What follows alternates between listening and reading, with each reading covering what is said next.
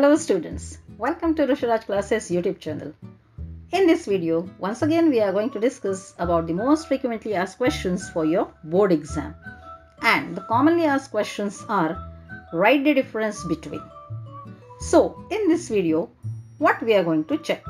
We are going to check one important question from the chapter Carbon and its Compound.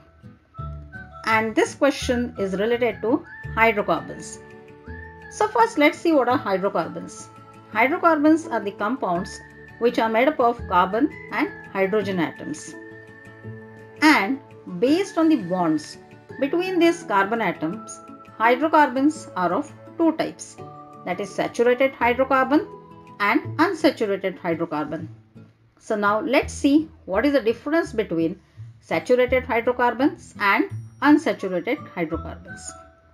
The first basic difference is in saturated hydrocarbons, carbon atoms are linked by only single bond, while in unsaturated hydrocarbons, carbon atoms are linked by double or triple bond. Saturated hydrocarbons are called as alkane series, while unsaturated hydrocarbons are called as alkene or alkyne series. Saturated hydrocarbons burns with clean blue flame while unsaturated hydrocarbons burns with sooty flame. Saturated hydrocarbons are less reactive and unsaturated hydrocarbons are more reactive. Saturated hydrocarbons undergoes substitution type of reaction while unsaturated hydrocarbons they undergo addition type of reaction.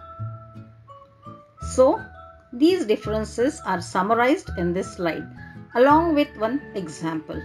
Under saturated hydrocarbon we can see the methane molecule while under unsaturated hydrocarbon here we can see ethene and ethyne molecule. So this was the difference between saturated and unsaturated hydrocarbons. Hope the differences are quite clear to you.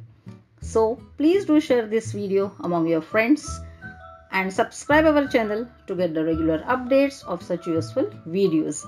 And my dear students, thank you so much for watching this video.